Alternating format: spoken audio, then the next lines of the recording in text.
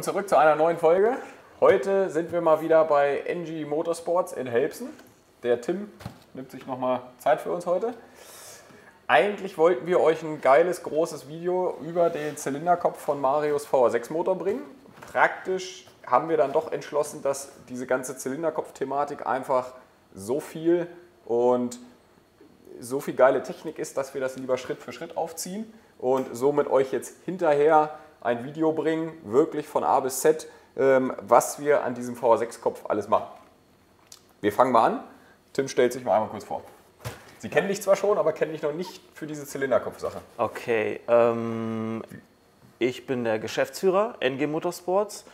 Das Unternehmen habe ich vor zwölf Jahren gegründet und ähm, vor sechs Jahren ist es jetzt mittlerweile her, ist die große CNC dazugekommen. Vorher habe ich alles noch per Hand gemacht, eine eigene Fließbank konstruiert, damals gebaut, auf der Fließbank die ersten Sachen getestet und vor knapp sechs Jahren dann den Schritt gemacht, die großen, den großen Fünfachser mhm. gekauft und ähm, dann darauf äh, übergegangen, alle Kanäle nur noch CNC zu fräsen. Mhm. Das heißt, was ist euer Kerngebiet? Die Kernkompetenz ist ganz klar Zylinderköpfe, alles, was da, da irgendwo mit zu tun hat, egal ob Ventilführung, Sitzringe. Ich finde es ja ganz gut, dass wir wirklich jeden Schritt einmal mhm. beleuchten. Ähm, nur unterhalb vom Kopf hört es halt auf. Also wir kriegen ganz oft Anfragen, was ist mit Motorblock und so weiter. Das machen wir ganz klar nicht. Dafür eben Zylinderköpfe, alles, Sonderanfertigung, Einzelstücke, kleine Serien, von kleinen Motorradköpfen bis hin zu Tractor-Pulling in der Dimension, ähm, das komplette Spektrum. Also es geht wirklich alle Arten von Köpfen. Es ist jetzt nicht so, nicht so, dass es nur speziell das, das und das ein Modell gibt, sondern auch Köpfe, die ihr vorher noch nie gehabt habt. Selbst die werden angenommen genau. gestaltet, haben, optimiert und so weiter. Ich habe letzte Woche nochmal äh, gerechnet. Wir haben im Moment ungefähr 450 verschiedene Fräsprogramme. Mhm. Und ähm, da wir irgendwann ja mal mit diesem VW und Audi, äh, mit diesen VW und Audi-Modellen gestartet sind, sind ganz viele Kunden, die auch hier mal herkommen und so sehen, was wir hier alles so haben, äh, immer immens überrascht und, und denken, wie, das, das macht ihr auch. Ja, machen wir auch. Also Geht es bei dieser Arbeit mehr um die, um die Optimierung oder auch um Instandsetzung und so weiter? Wir machen auch Instandsetzungsfälle, das sind dann aber meistens ähm, sehr schwierige Geschichten, wo viel mit Laser geschweißt werden muss, wo es darum geht, irgendwelche historischen äh, Zylinderköpfe zu retten, einfach zu erhalten, ähm, weil man einfach gar kein, gar kein neues Material mehr kriegt. Mhm. Ähm, ansonsten so normale Instandsetzungsarbeiten machen wir nicht. Es geht wirklich darum, ähm, wirklich diesen Performance-Motorsportmarkt zu bedienen damit. Okay, das heißt, es wird jetzt um jede Menge Leistung gehen, beziehungsweise Optimierung mhm. für die Leistung. Mhm. Welche Baugruppen müssen wir an so einem Kopf einmal abgehen, bis alles fertig ist? Was gehört alles dazu? Ähm, wir fangen ja hier vorne gleich mit der Demontage an. Das heißt, alles abwärts der Nockenwelle, ab Stößel, die wir dann gleich auch noch mal kurz zumindest demontieren. Ähm, Ventile bauen wir aus, sprich Federteller, Keile, Ventilfedern, Unterlegteller, die Ventile selbst.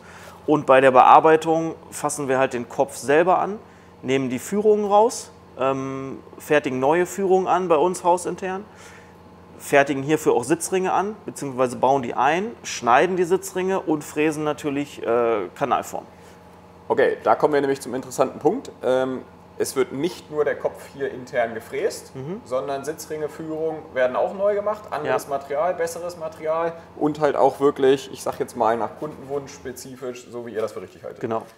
Okay, das wird auf jeden Fall jede Menge Input, wie ihr jetzt in den ersten drei Minuten schon gehört habt. Und genau deswegen haben wir uns entschieden, das Ganze Stück für Stück zu machen und wirklich auf jedes einzelne Teil so ein bisschen einzugehen, bevor wir jetzt auf schnell ein VR6-Kopf-Video liefern, wo die Hälfte einfach fehlen würde. Ne? Jo. Okay, wir nehmen uns einen V6-Kopf. An dieser Stelle nochmal vielen Dank an die Jungs von Stahlwerks. Vielleicht habt ihr das Video gesehen. Wir blenden mal eine kleine Infokarte dazu ein. Ähm, ich hatte im Osten noch einen Reservemotor gefunden. Wir brauchten jetzt auf die Schnelle diesen Kopf und deswegen haben die Jungs den schnell abgebaut und mir zugeschickt. Vielen Dank und die Cola werden wir auch noch trinken.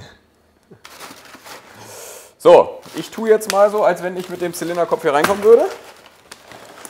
Und du tust so, als wenn es losgeht. ich tue so, ja, alles klar. Grundsätzlich das Erste, was wir machen, ist für den Zuschauer wahrscheinlich herzlich unspektakulär. Ähm, wir haben so ein paar Annahmeformulare, die so über die Jahre immer äh, weiter verfeinert wurden. Da wird im Groben und Ganzen der Ist-Zustand beschrieben. Das heißt, in welchem Umfang liefert der Kunde an, was ist alles dabei, sind Nockenwellen dabei, äh, sind die Lagerdeckel da drauf geschraubt. Mhm. Jetzt sieht man es noch nicht wirklich, aber wie sehen die Lagerstellen selber aus? Das halten wir halt einfach schon mal im Eingangsformular fest. Ähm, und danach wechseln wir quasi auf die eigentliche Auftragskarte. Und das ist dann so ein bisschen wie das technische Datenblatt bzw. die Bearbeitungskarte, ähm, dokumentiert dann jeden einzelnen Schritt. Also hier trage ich alle Daten ein. Ähm, das Ding kriegt ja auch größere Ventile, andere äh, Ventilsitzringe, äh, unsere Bronzeführung etc. pp. Das kommt alles hier rein. Das fülle ich jetzt einmal kurz schnell aus. Damit das Ganze noch interessanter wird, würde ich sagen, wir gehen einmal ganz kurz darauf ein, was man aus dem Kopf rausholen kann, wenn mhm. es optimal läuft. Mhm. Was bringt das Ganze? Warum bearbeitet man es? Und so weiter. In so ein paar Sätzen. Wir werden natürlich Schritt für Schritt bei jedem einzelnen Teil darauf eingehen. Ihr habt eben gerade schon was von der Flowbench gehört. Das heißt, wir werden das Ganze auch durchmessen, was es wirklich am Ende gebracht hat. Ja. Ähm, aber in so ein paar Sätzen welchen Vorteil hat der Kunde davon, wenn er dieses Programm hier machen lässt? Das ist, das ist, eine coole Frage, weil für uns ist das ja Alltag und selbstverständlich. Deswegen, also wir wissen, wir wissen ja, warum wir es tun. Ähm, beim Zylinderkopf ist es ja ist es in der Regel so, dass das mit die engste, der, den engsten Querschnitt bildet für die Luft, ich sag mal von Außenatmosphäre bis in den Brennraum später hinein, in den Zylinder. Und ähm, was wir versuchen wollen ist, wir wollen den, den Durchfluss vergrößern das heißt, wir wollen schlichtweg, dass wir mehr Luft in den Brennraum bekommen durch bessere, größere, optimierte Kanäle, damit wir mehr Kraftstoff einspritzen können, was dann später mehr Leistung generiert. Mhm.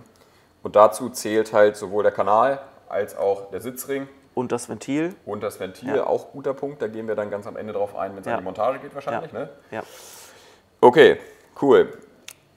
Gibt es Referenzen, was sowas bringt am Ende? Jetzt nicht unbedingt in PS, das ist wahrscheinlich wieder extrem abhängig, ob Sauger, Turbo und so weiter. Aber es bringt sowohl was für den Sauger als auch für die Turbo. Das kann man auf jeden Fall schon mal sagen.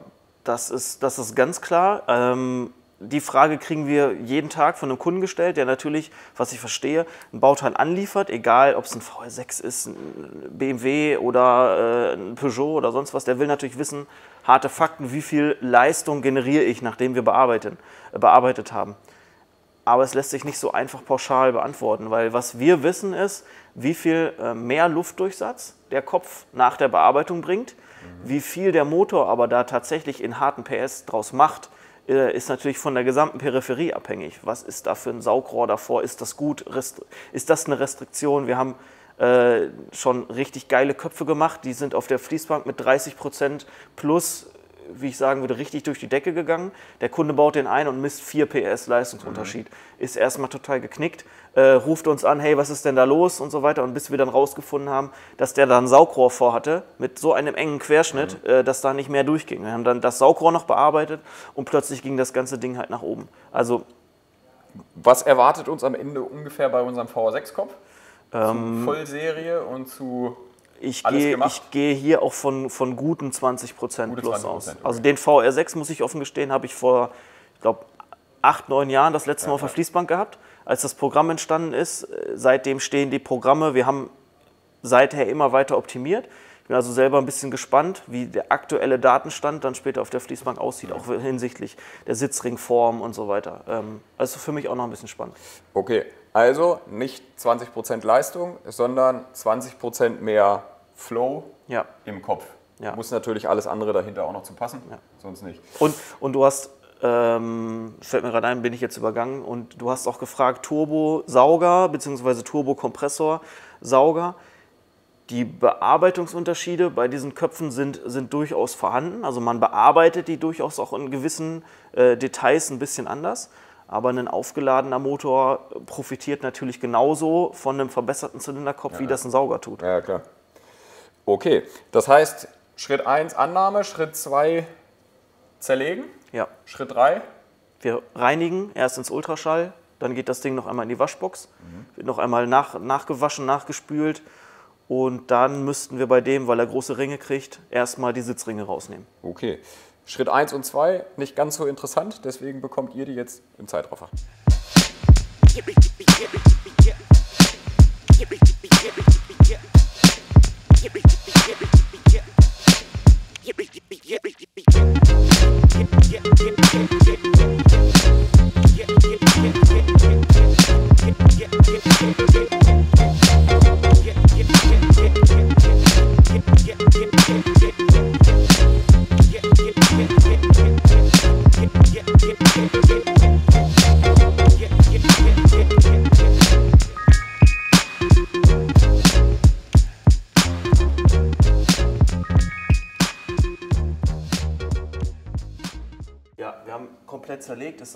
Raus. Ventile haben wir direkt weggeschmissen, die werden eh nicht mehr gebraucht.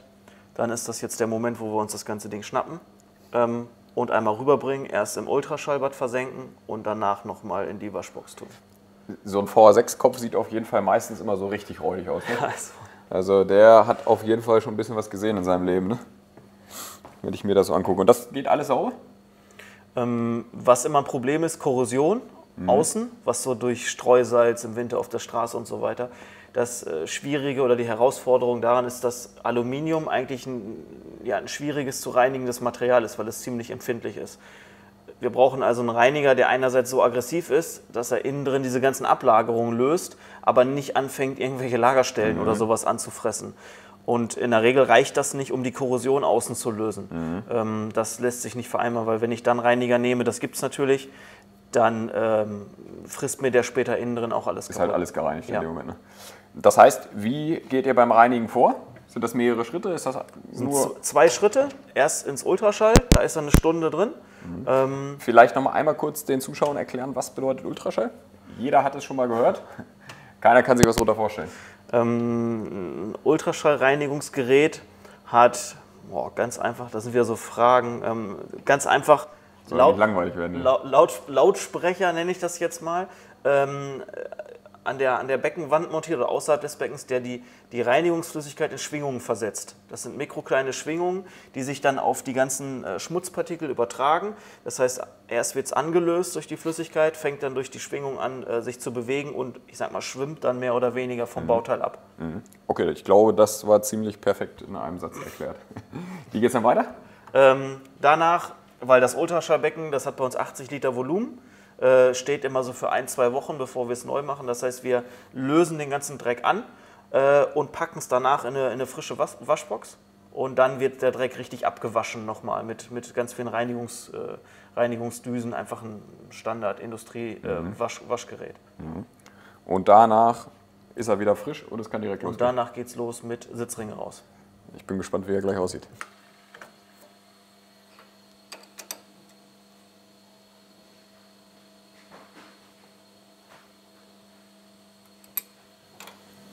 Also ich muss auf jeden Fall sagen, der Kopf sieht auf jeden Fall schon mal deutlich besser aus. Das ist schon ein Unterschied, ne? Klar, so ein VA6-Kopf, man sieht ihm immer die Jahre an. Man darf auch nicht vergessen, die Köpfe sind mittlerweile alle 20 Jahre alt. Ne? Ist ja auch ein bisschen Zeit, die da schon ins Land vergangen ist. Und VA6 ja auch ganz oft Motoren, die 300.000, 400.000 Kilometer haben. Ja. So, im nächsten Step jetzt. Nehmen wir die Ringe raus. Das machen wir auf der Maschine hier, die ähm, eigentlich hauptsächlich sonst so für Sitzringkonturen, also zum richtig Sitzringschneiden auch gedacht ist. Ich würde sagen, wir zeigen den Leuten erstmal kurz, was überhaupt ein Sitzring ist. Und du erklärst einfach mal kurz, wofür dieser Ring da drin ist. Gute Idee. Ähm, ich habe jetzt natürlich kein Ventil zur Hand. Macht nichts. Unten drin, guck mal, ob du das auch reinkriegst. Man kriegt die Ventilführung wahrscheinlich ganz gut mit drauf. Also unten drin steckt dieses ähm, bronzefarbene, das ist die Ventilführung, von der wir die ganze Zeit sprechen. Darin gleitet das Ventil auf und ab und schließt dann im, im äh, Ventilsitzring, das heißt über diesen Dichtwinkel hier, das sind 45 das sind 45 Grad Winkel, ähm, darin setzt sich das Ventil ab und schließt quasi in dem Moment, wo die Verbrennung stattfindet, ähm, schließt den Verbrennungsraum ab. An der Stelle auf jeden Fall schon mal sehr schön zu sehen. Auslassventil, Dichtfläche deutlich breiter als Einlassventil, Ja. weil einfach wärmer, Ja. muss mehr Wärme übertragen. Ja. Prinzipiell hat der Sitzring aber schon auch die Aufgabe, wenn die Ventile geschlossen sind, die Wärme auf den Kopf zu übertragen von der Verbrennung. Ja, man sagt so grob 70 Prozent 70 Prozent, der, 70 Prozent der Wärme vom Ventil wird über den Sitzring übertragen und die restlichen 30 Prozent ähm, grob über die Ventilführung. Alukopf würde wahrscheinlich auch gar nicht gehen, das Ventil im Alu laufen zu lassen. Mhm, Ne? auf gar keinen Fall, Das nein. würde nach kürzester Zeit wahrscheinlich verschlissen sein. Ne? Ja, Das heißt, da ist jetzt, was ist das? Ist das irgendein Stahl? das ist ein Sin- Sinterstahl ähm, mit einer ziemlich hohen, äh, hohen Härte, äh, um einfach die Verschleißfestigkeit zu gewährleisten Mhm. über die Jahre. Und warum wollen wir jetzt diesen Ring hier raus haben? Wir sind gezwungen, den rauszunehmen. Einlassseite könnte man wahrscheinlich auch mit viel Leistung weiterfahren, Auslassseite allein vom, von der Legierung her nicht. Wir müssen aber beide Seiten neu und groß machen, weil ähm, das Einlassventil hat ja dann 41 mm Durchmesser. Sit, serienmäßig sitzt hier nur 39 drin. Das heißt, dieser Stahleinsatz, den man sieht, der ist vom Werk aus auch nur auf 39 mm Durchmesser ausgelegt. Man kann also kein größeres Ventil rein, äh, reinsetzen, weil es sonst hier außen im, im Aluminium äh, dichten würde. Okay, also wir haben zwei Punkte, warum wir den jetzt rausnehmen. A, wegen den größeren Ventilen. Das heißt, es kommt auch logischerweise ein größerer Sitz rein. Mhm. Ja. Und ähm, zusätzlich halt einfach, weil die Legierung besser ist. Genau. Okay. Ja, dann. Ich fange an, das einzurichten und dann kann Eine, ich eine gleich noch. Frage noch. Ähm, viele werden sich jetzt bestimmt fragen, wie hält dieser Ring da zur Sekunde überhaupt eigentlich drin? Dass der nicht einfach rausfällt, weil man darf ja nicht vergessen, ich sage jetzt mal 5000 Umdrehungen Minute. Das heißt, dieses Ventil geht 5000 durch 2, 2500 Mal die Minute auf und zu. Mhm. Dass der nicht einfach plopp im Brennraum liegt. Der, der, wird, der wird eingeschrumpft, also mit, äh, mit Stickstoff eingefroren, Kopf entweder Raumtemperatur oder leicht erwärmt. Und dann wird der eingesetzt mit einem äh, spezifischen Pressmaß. Okay. Könnte man diese Sitzringe auch irgendwie, ich sag jetzt mal wieder, den Kopf erwärmen, Sitzring kühlen, dass die einfach rausfallen? Das Einzige, was man machen kann oder wirklich probieren kann, ist, ähm, dass man in den Ringen aufschweißt oder eine Scheibe einschweißt. In dem Moment zieht der Ring sich zusammen und man kann ihn meistens rausziehen.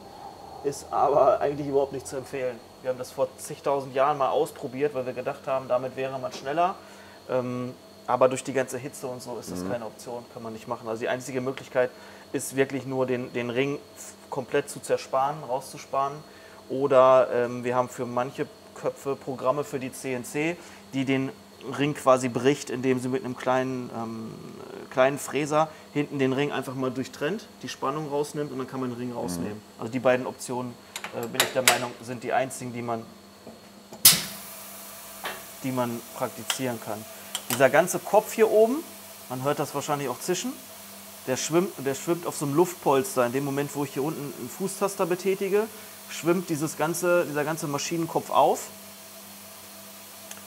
Jetzt kann ich den auf diesen Piloten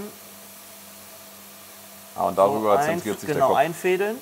Und jetzt schwimmt der quasi in dem Luftpolster, zentriert sich perfekt. Und jetzt gehe ich einfach nur unten vom Fußtaster runter.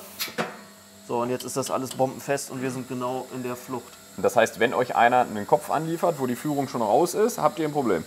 Wenn die Ringe raus müssen, haben wir ein Problem. Dann ist es für uns mehr Aufwand, weil dann müssen wir erst wieder Führung einsetzen. Oder wie ich eben gesagt habe, wir machen es über die CNC, dass man sagt, pass auf, dann äh, schreiben wir da gerade ein Programm und brechen die Ringe oder knacken die Ringe auf, indem wir da einmal kurz runterfräsen. Ja, jetzt können das theoretisch mit Ring 1 schon losgehen. Ausgerichtet ist alles, Messer ist drin, eingestellt, fest. Schneiden wir den mal raus.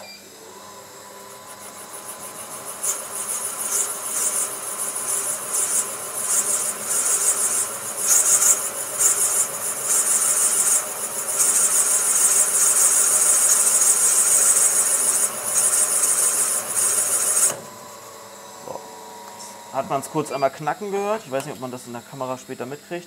Das war quasi der Moment, wo der, wo der Ring wirklich sich gelöst hat. Jetzt kann man den letzten, letzte Ah, cool. Überbleibsel nimmt man einfach raus, weil da ist unten so, eine, so ein Radius dran zum Einsetzen. Und das ist das, was dann letzten Endes übrig bleibt. Und so eine vorbereitete Bohrung.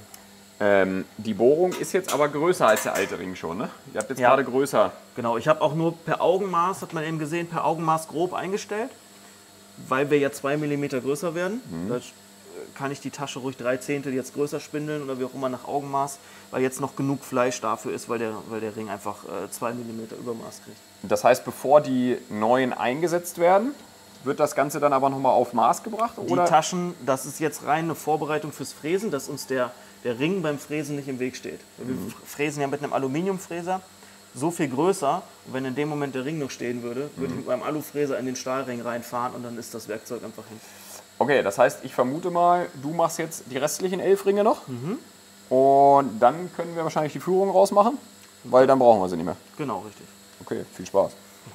Ja, nachdem wir die Ventilsitzringe jetzt alle ausgespindelt haben, können wir den Kopf jetzt nehmen und drüben die Führung auspressen. So, Führung rausmachen, klang gerade so aufwendig, sieht aber eigentlich einfach nur nach einer Presse aus. Ne? Ist einfach nur eine Presse. Okay. Mit Das so heißt einfach mit Druck Führung rausdrücken, Ja, ja. fertig. Der, die VR6 sind recht unkompliziert, ähm, lassen sich ganz einfach lösen. Es gibt viele andere Köpfe, da ist das komplizierter, da braucht man auch ein paar Tricks. Äh, bei dem ist einfach. Ich glaube, das liegt aber auch daran, dass, das seht ihr in einem späteren Video, ihr ja die Führung in-house selber herstellt. Und somit, selbst wenn hierbei irgendwas, ich sag jetzt mal, ein bisschen klemmt, reibt oder beschädigt wird, ihr eh eine eigene Übermaßführung herstellen könnt, die dann individuell genau darauf eingesetzt Genau, wird. es kann halt sein, dass beim Entfernen der Führung die Grundbohrungen davon beschädigt werden und dann braucht man halt eine Übermaßführung. So, Okay. Das war's für heute mit Teil 1. Tim drückt jetzt noch die ganzen Führungen raus und dann geht's im nächsten Teil weiter an der Fräse. ciao. Bis zum nächsten Mal.